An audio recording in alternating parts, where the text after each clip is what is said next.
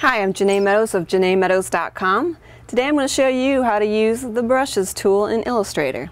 Okay, so the, the thing about brushes is you can take those the boring path lines that you're going to draw and they kind of look, you know, computer, they don't have a lot of warmth or, you know, life to them that normally with a pencil you get and it's going to bring some of that warmth and life to your drawing again. So let me show you what I mean. Now, here we go.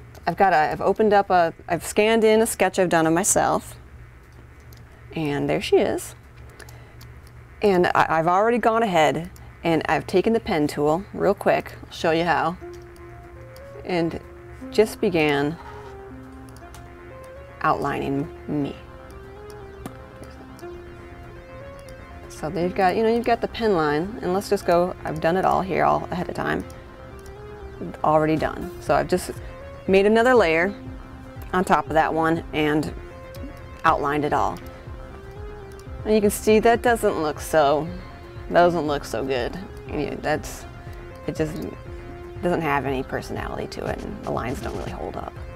So that's when your brushes come in. So let's go up to your window, scroll down, see your brush libraries, and you go to my personal favorite, artistic. And then you go to uh, chalk, charcoal pencil. There you go. And you're to see all these cool different options for brushes. Now, let's just, I'll, let me really quickly just show you how this goes. Click on a path. Click on a brush. Whoa. And you see it looks now, it looks like somebody actually took a marker in there and really drew this, or an ink brush. It's got that nice natural look to it. But the cool thing is, it's lossless because it's vector. You can shrink it down and move it around any way you want. And it, you can blow it up as big and blow like a big billboard and it's still going to hold up its quality. So that's the advantage to it besides, I mean, you could just do it in pencil, but you're, gonna, you're not going to have that losslessness. That's awesome. So what you can do is just go through and you can do, uh, check out this brush here. I love this one. Looks like a pencil. Let's just zoom in on that so you can see the quality, what, what's happening here.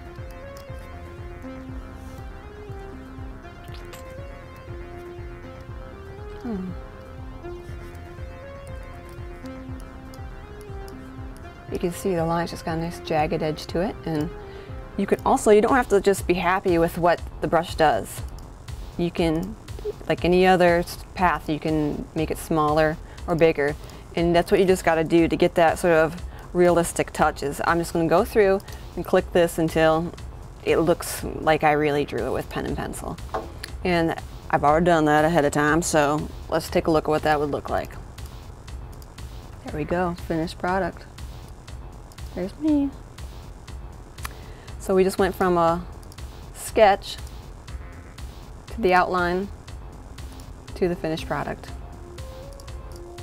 And you can see it's really, I think it just made it, uh, now it looks like a, it's got that hand-drawn feel to it. All right, well, you don't have to stop. Now, it's not just for uh, creating a inky kind of stuff.